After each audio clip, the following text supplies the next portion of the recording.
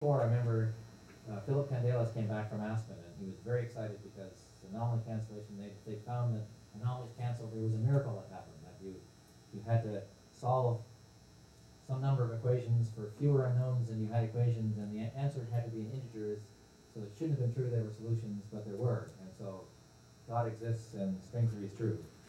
So- So, I didn't really understand why that was so convincing, but, but I did see that everybody else was learning string theory, and so I got to take advantage of Joe Polchinski teaching himself string theory, he taught a class in it, and Winder taught himself string theory. And it was a very hands-on, pragmatic way of uh, learning it. And, um, and it turns out in the end that, that, uh, that was probably the last time, that's, that was the end of the era when particle physicists could afford not to learn any gravity, because I think in the end of the day, the string theorists have introduced the language of quantum, uh, of general, of general covariance so much throughout particle physics that, uh, really, it's one of the, the basic tools that everybody uses, and, and, uh, it was probably good to have learned it, uh, it's good, I'm glad the revolution happened while I was still a student, and it wasn't too late for me, uh.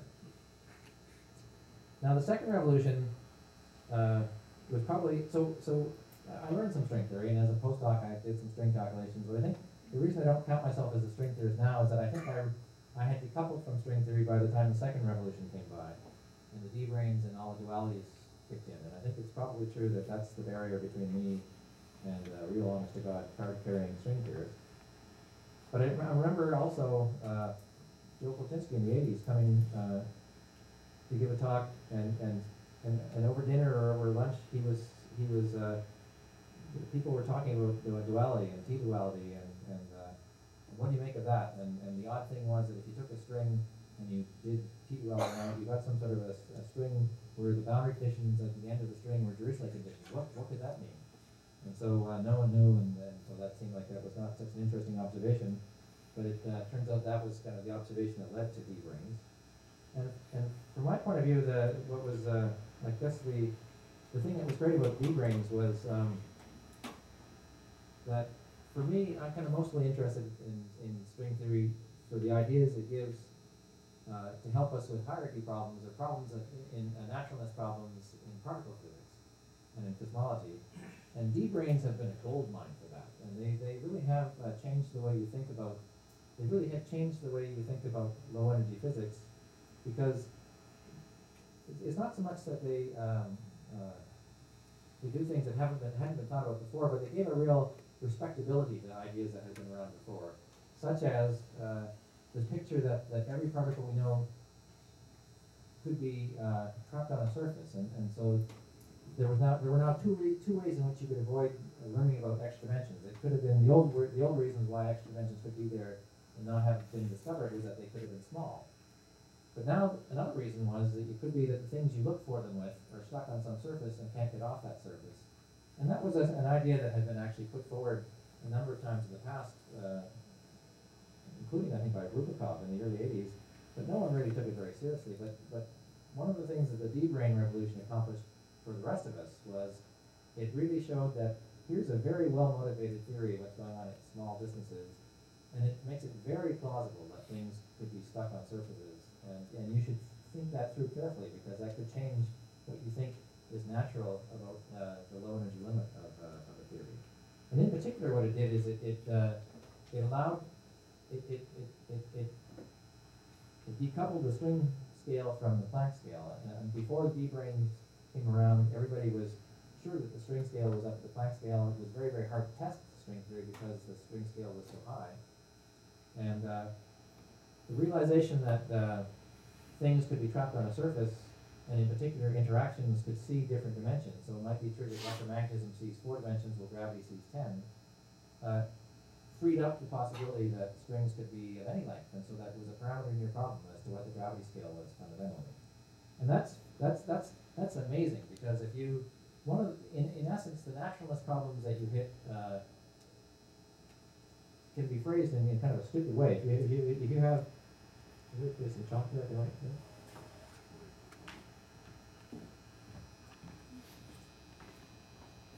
One of the reasons you do so so well with uh, lowering the gravity scale is that you know the way somebody would have said that there's a problem, say. Uh, having light scalars, even if they're very weakly interacting, would have been that if you calculate some sort of a graph where you're looking at the corrections of some heavy particle to uh, a light particle, say this is a scalar, then the answer, even if the interactions are very weak, so even if the interactions are gravitational in strength, you might imagine there's a, there's a one over m Planck that you have to pay for every time you have a vertex. But a graph like this would have given a change to the mass squared, which is of the order of, you know, the integral of E four P over two pi to the fourth for the loop. Um, I guess there's a one over P's for, for, running around for the propagators, let's, let's say one over P squared squared. And for gravity, there's probably P's in the, in the, in the, uh, in the interactions, so that might be a P to the fourth or so. And there's a one over m Planck squared for the two interactions, if I've done that right, this is dimensions of mass squared, which it does. And so now the, the way you would have thought about this in the early eighties would be that you'd say that, well, there's things running here, running around here that are at the Planck scale, and so, in the end of the day, this is one over m Planck squared times something to the fourth power, and it's gonna be m Planck to the fourth power, because that's the biggest scale in the problem, so you're getting Planck scale corrections from very, very weak interactions. But once you recognize that the gravity scale could be much lower than the Planck scale, same argument takes you to whatever that scale is, and you get something here in the numerator which is smaller than the Planck scale. And so now these are all small things rather than big things, and so you have to go back and rethink all the things that you thought were big, because they needn't to be big, because before you got to the bad place, string theory rides in and saves you. So, uh, it was really a, a, a radical thing that, uh, changes a lot of the ways we think about low energy physics, and I think in a way we haven't exhausted completely yet. I think it's also the spawning of ADS-CFT has gotta be the deepest thing I've ever seen. That's the one thing I think in theoretical physics that I could, you did not see coming. It's one of those things when, you're not, you, you, you kind of took your eye off the string theorists for a couple of years, and they came back and they said, turns out that, uh, that gauge theories are the same thing as, gra- as gravity theories. And you, and of course, the first time you hear that, you think, yeah, right.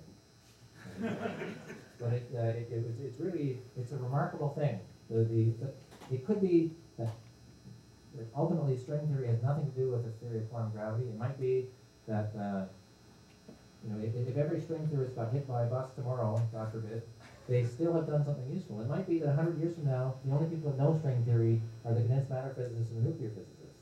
And they, they, that would be God's irony, I think. Uh, but it's, it's, uh, you know, the, the, in essence, the string theorists have told us that there are fewer field theories in the world than we thought. And quantum field theories are the language with which we describe nature. And we're digging through them, trying to find what's going on. And now a, we now, now we know that there's not as many different ones as we thought they were, that, that theory A and theory B are really the same theory, written in different ways. And that, that's kind of a remarkably deep insight. And, uh, and it's nowhere near, uh, explored to the end, and, probably that's the most useful thing that's come out of string theory. I think it's something which, independent of how successful it is at describing quantum gravity, which I'm optimistic string theory will be good at describing quantum gravity. But it's, uh, it's, it's really amazing to have, uh, to see condensed matter physicists talking to string theorists and having something useful to say to each other. That's something which, uh, I, I did not see that coming. So, so anyway, thanks for the chance to, to talk about old times. I think I will, pro- yeah, sorry. Yeah, I will propose we, we just went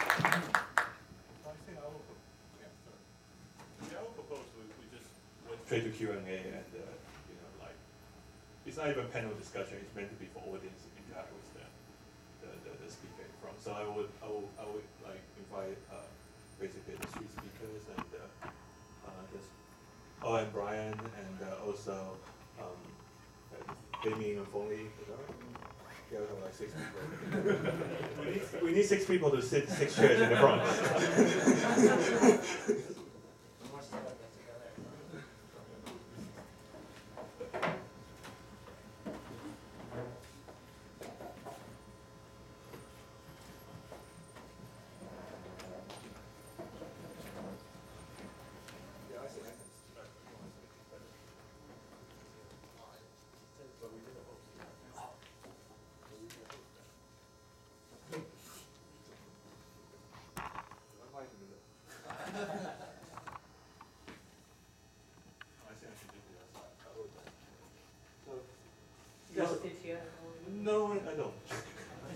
so, um, yeah, questions.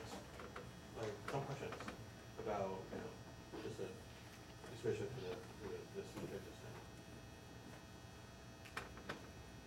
Uh, Sumit, uh, just now you said, uh, uh, you think probably the next uh, uh, development in string theory would be construct string theory on some non-trivial background, right?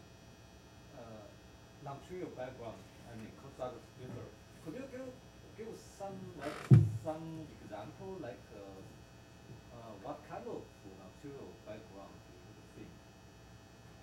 Well, I, I, I don't know, it was spot by the, by the, the observation that, uh, uh, in a way, uh, the, after the discovery of QCD, I mean, people thought that, I mean, we, we still know that, uh, theory of flux tubes in QCD, uh, should be described by some kind of string theory.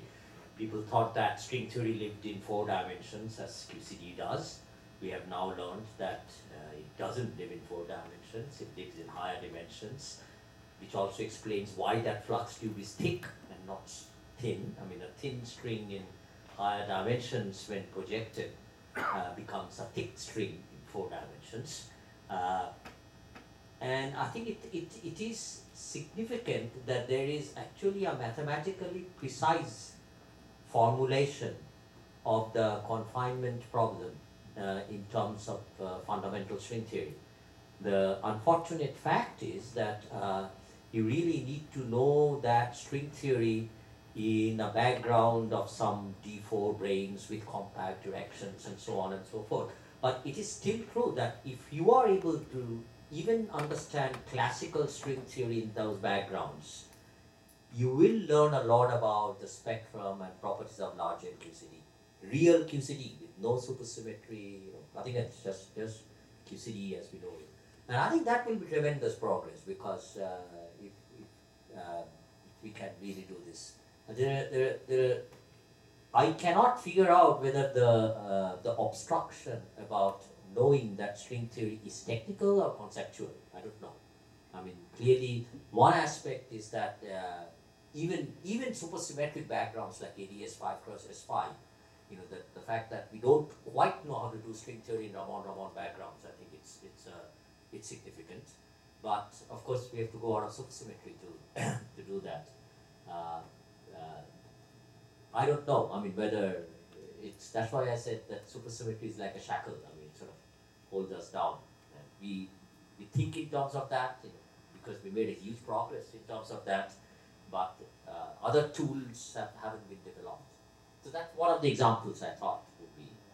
We, we, we'd like, for example, to understand uh, string theory in cosmological backgrounds. I think uh, we, we don't we don't know. I mean, very much about it. And I think uh, you know uh, if, if you really think about the landscape problem, and if you think about what uh, whether we can still make progress out of uh, in this in this in this confusion. I mean, maybe the understanding is cosmology that uh, the, you know cosmological background, uh, the the the usual plethora of things which we talk about. The questions are different in time-dependent cosmological, and we have no no inkling about how to do that. So basically, uh, yeah, uh, basically the of theory and try to construct, a, but, but you do not mean that the uh, formalism of string theory itself, right? Uh, there could be something in the formalism in string theory. I mean, if you look at what, uh, why we can calculate things with string theory is uh, just writing down string theory doesn't that much depend on supersymmetry. But the fact that there are infrared problems if you don't have supersymmetry, the fact that you know the, the modular integrals uh, diverge at imaginary tau very large, you know that that is uh, I think that is the fundamental issue which supersymmetry solves, right? So so I don't know. I mean that could be something fundamental in there. A priori doesn't look like you need supersymmetry to write string theory.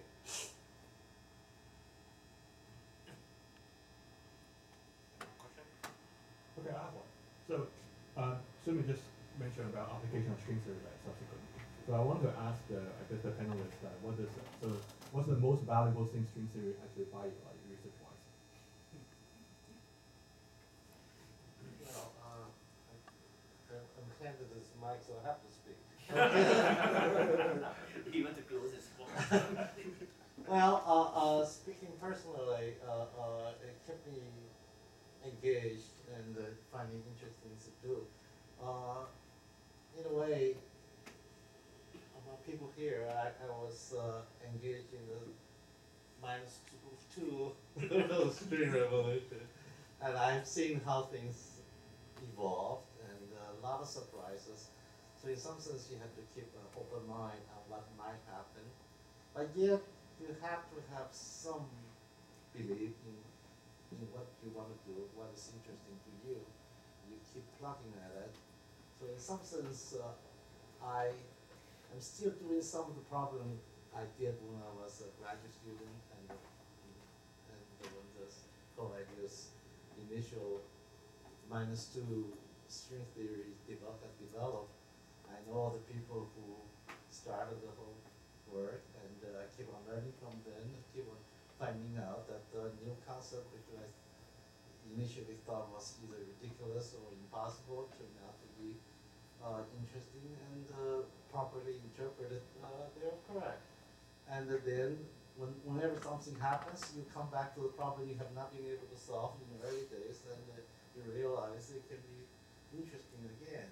So, so just speaking for myself, uh, when I was a graduate student days, I was interested in the very fact that uh, scattering total cross section are nearly constant or increasing gradually. And that's the kind of thing everybody from Veneziano, John Schwarz, Mike Green, everybody were interested. And uh, to the original string theory and uh, until people realized that uh, you got a massless graviton in the theory, so everybody gave up, except John Schwarz and others stayed with it. And uh, no longer be QCD, but uh, it's to string theory of, gravity. But yet, this whole idea of string theory to describe strong interactions still makes sense. So we always hoped someday there will be a string theory which uh, removes this massless particle in there to describe QCD. And uh, it was not until when ADS-CFT came along after the second revolution, you have to wait a long time able to understand this kind of question. And uh, we find the role of gravity, graviton, within the context of QCD. Also, speaking for myself personally, that's the most gravi- uh, gratifying thing. But uh, uh, uh, you never give up, and uh, things happens, and uh, surprises happens, and uh, even people like John Schwarz, Mike Green,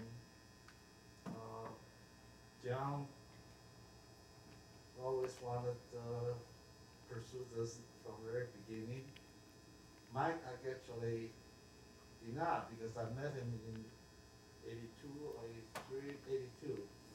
Uh, I was in England, he was at Oxford, I went over to talk to him. He said, now I'm going to do critical phenomena, I'm giving up on particle physics. So in 84, I left Aspen, I, I arrived one day early. I didn't have a place to stay, so I called John. John says, well, come over, Mike is staying with me. And we talked, and they talking about this crazy things they're doing.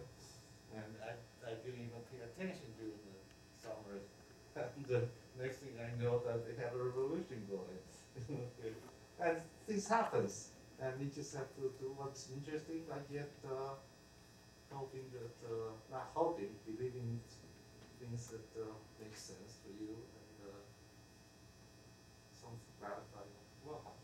Because Michael's advisor was also kind of English English version counterpart of the Geoffrey Chew, right, with the Richard Well, in fact, Eden. I- and I- Michael Michael did PhD in five to the four theory. I remember he was. Uh, I can tell, I can tell you a little bit more. Yeah, He, uh, his advisor was Richard Eden.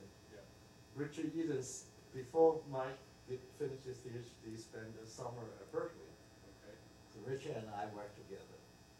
So Mike actually wrote his thesis on something we did, uh, extending some things we did. And uh, then he continued in string theory, and the, by early eighties, he was about to give up. And, um, in fact, he did work on, was going to get into critical phenomena because, uh, So Mike was still a postdoc? No, no, he was, he he was, he a- yeah, he got this five-year Thing, appointment. yeah, in UK. And he was, uh, he got into critical phenomena because he was trying to solve a problem, which is this thing John Cardy was working at the time, for covariant field theory. So there they learned the critical phenomena technique of doing epsilon expansion and then relativistic six dimension. So he was about to give up on particle physics, the stack map critical phenomena. Until John got him interest back into interested in string theory. And that, that's what happened. So. That was some story. So the question is, what does string theory, what, it- what's it done for Yeah, I was, I was actually, I think, uh, uh, if I were to, to pin down my question a little bit, was like more like, what does string theory buy for you? What, what you saw was most valuable? But I guess Chung-I also gave a I think it's a, it's a great generator of ideas. It's, uh, it's, you know, the rest of us sit around and every ten years there's a, there's a revolution and, and, and now we're overdue, so you guys need to get on it. But it's, uh, it's been very valuable as a source of ideas for cosmology and for particle physics. It's, uh, and, and, and and it's kind of an interesting sociological study because normally if you have a theoretical field that doesn't have experimental, uh, help, it, it, it, it flounders and, and and people leave it because they, they can't make progress on problems and so then they, they don't go anywhere. It's kind of interesting that that has not happened in string theory, that, uh, that there's something in the structure of the theory which seems to give people guidance and so takes them to new ideas in a way, uh, which is kind of probably unprecedented, uh, given that there's not an experimental guidance helping to point the way. Uh, oh, I'm not actually a string theorist, so um, I'm, I'm not sure I can really answer questions of what string theory does for me quite quite directly. And Cliff and I have a kind of a, a, a view on this that um, the, the, in the area of CFT correspondence, the quantum Hall effect is a place to look for um, for, for connection with condensed matter. But it, um, and for continuity in the question, maybe I'll hand over to, to Peng Mo first, because I have something I'd like to ask some of the other panelists, and it may be better if, if, Yeah, go if for it it. was If after if Peng you Mo. want to say something uh, now, then go ahead, please feel free. Okay, um, well, for me, um, string theory gives me my job. so when I was doing my PhD, um, Professor Zumino, he, he told me to study string theory, although I wasn't, that wasn't my thesis. Um, but when I was graduating, um, he told me, now it's time to do string theory, or you won't get a job. So I followed his advice and started doing string theory at the right time, so I that was 1996. Um, so um, also for me, I think string theory is a, is a good place to look for ideas, like Cliff was saying. Um, I always wondered, for example, um, our notion of space-time. Um, what is space? Why, why do we care so much about notion of distance? You know, why is the universe you know, uh, described by geometry of Riemannian geometry rather than complex geometry or other types of geometry? String theory gives you um, notion about space-time, not not like in other theories in which you put in by hand your notion about space-time, but you discover from the theory what space-time should be about, how you define it. Um, and also, like many other developments um, about relations among uh, gauge theory or gravity or quantum theory, could in principle discover these connections without string theory, but um, most of the time we realize these connections from string theory, from studying string theory. So I think that's that's a um, very important role played by string theory, even if you don't believe. Although I can't see any reason why you won't believe in string theory. Brian, you have a question for other panelists? Yeah, as I say, I, I'm not a string theorist, but uh, um, I, I, um, I do remember the, the first um, string revolution. I remember when, uh, when I was a student meeting, meeting Mike Green at a, uh, a meeting in England, and, and I was sitting over the table from him uh, for the evening meal, and I, I, I didn't know who he was. I asked him what he was doing, and, and he explained to me that um, he was working on this string theory stuff. And like Cliff, uh, I, my immediate reaction was, oh, well, that's all very interesting, but I don't have to pay any attention to that. Um, and then a few years later, I was, um, I was a postdoc at Glasgow and we were organising a summer school. Uh, John Schwarz um, was coming to, and this was just after they discovered the anomaly cancellation, and he was um, describing string theory. And I remember him being, I, I think the word is frustrated. He was, he was very frustrated that there were five string theories. Um, at the time, I mean, they had the heterotic, the E8 cross E, Nesso 32, type 2A and type 2B, and, and he wanted there to be one because he wanted this to, be, to lead him to, to a unique theory of, of gravity, quantum gravity. And, um, and Sumit has, described how we're now in a situation where the, with the landscape and the 10 to 500 vacuum or whatever, that um, this is not going to go away. This, this, is, um, this is here to stay. And many string theorists seem to perceive this as a problem, but I wonder, um, and this is a question I want to put to the, the string theorists here, um, well, a point of view, and, um, to, see, to get their opinions on it. If, if you, one, one of the places where string theory has had um, huge impact, I think, is, is in mathematics and differential geometry. If you, if you think of string theory as being um, a branch of mathematics rather than a physical theory, then I, I think the problem just goes away. I mean, no, no one, no one would ever ask if, if um, is complex analysis the theory of physics. It, it's not a sensible question. So if you think of string theory as, as, as, mathematics, then asking is string theory the theory of physics is, is perhaps not a sensible question. If you have 10 to the 500 vacua, then use them. If, if, this is, if you think of this as being a mathematical tool that could be applied to many different areas of physics, then the, the problem just, just goes away. So I wonder what the, what the, the string theorists in the panel would, would, would um, say to that as a point of view. Uh, I, I, should actually relate something personal in this. Uh, uh, I did my PhD in large N gauge theories, then I uh, started doing Monte Carlo simulations of lattice gauge theories, really rapid programs and you know, trying to calculate theories in gauge theories. Then anomaly cancellation came, and you know, it was abundantly clear that string theory describes some theory of gravity maybe that may not be the gravity of our world or some, but you know, it does give rise to Einstein equations, and it, it was just amazing. I mean, this calculation that uh, if you take a string in a non-trivial background and require consistency of the string theory, Einstein equations follow. I think for me, it was really amazing. So I, mean, I just gave up everything, throughout all my computer programs, and started literally like that. And then I uh, got a postdoc in Caltech, which was like the, the Macaw string theory at that time. John Schwarz finally got a job there. and uh, a month after I arrived there, five men one day just walked into my office and said, So, what do you work on? Knew I was a new postdoc in that group, but we haven't really met. And so I was very excited. Told Feynman that uh, I'm working on string theory, and he said, "So why do you want to work on string theory?" So he was very, uh, was known to be very skeptical of string theory, and he said, uh, "Well, you know, you can, you know, can calculate the ratio of the mass of the proton to the mass of the pion. I mean, if you, if you know string theory, and you can calculate the Yukawa couplings, and you can." Uh, you know, get all that spiel about, you know, and all that. And he listened to me very quietly and then he, he said, do you really believe that you can discover nature without clues from nature?